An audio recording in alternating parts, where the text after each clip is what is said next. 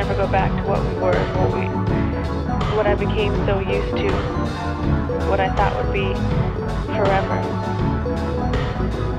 Just us two. But anyway, I just called to say